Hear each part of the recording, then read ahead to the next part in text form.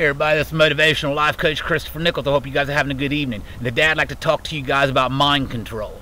And what mind control is, it's not about trying to control someone else's mind to get them to do what you want them to do for you. What it is, is about controlling your own mind.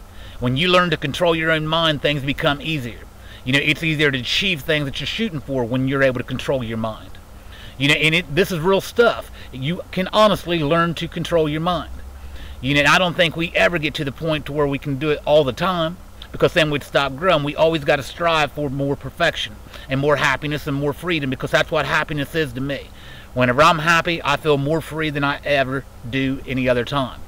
You know, so I strive to try being as happy as I can. Anyhow, to get back on the point, to control your mind, all you got to do, you wake up in the morning, and it's kind of a repetitive thing. You wake up daily, and you tell yourself that life is good. It's only going to get better. You can achieve the things you set out to achieve. You got full confidence. Compliment your looks. Compliment your uh, energy level. Everything that you can think of about yourself, feel good about. And if you do that, you will catch yourself honestly in a positive state of mind more than a negative state of mind.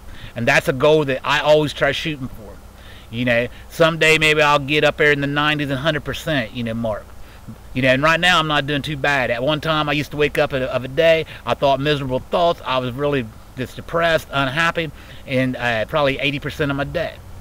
And when I started practicing mind control and trying to shoot for my goals and dreams, it honestly has, you know, 75% easy, you know, of a day I'm thinking positive. And that's a heck of a lot better than like I said before. You know, and it's something that we always got to work on.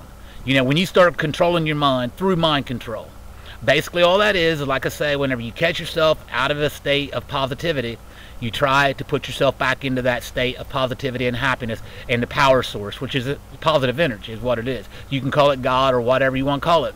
It's a positive energy source that when we tap into it, we can do great things and we can live a happiness, you know, fulfilled life. I hope this all makes sense to you. As always, I want you guys to dream big and take care.